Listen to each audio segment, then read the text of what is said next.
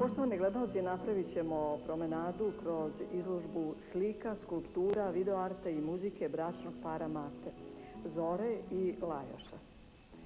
U ovom svetu koji je toliko uzburkan, koji je pun nekih e, zvukova, ratnih i svih ovih drugih, vaše slike na neki način odišu duhovnošću i mirnoći.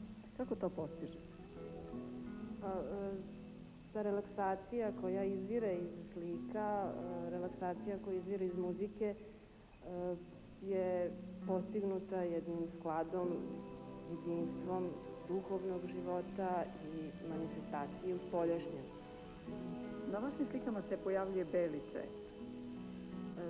Bela ruža i beli ljiljan kao simboli čistote, trajnosti, kao simboli ljubavi i istine. To je takođe i ovaj oblik dijamanta koji svojim vrhom je uprt prema nebu, znači prema sferama svesti, prema polu duha.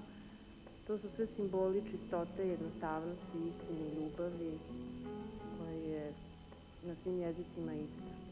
Pa zašto vi toliko težite toj čistoći? Da li je zato što je okruženje oko vas sasvim drugčije?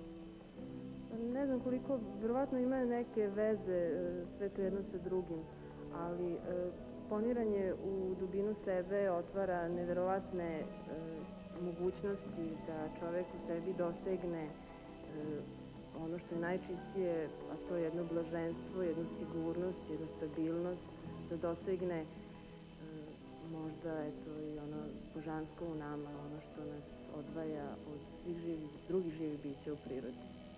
Kakav ste vi to uh, spoj i to jedinstvo duhovno našli sa vašim suprugom?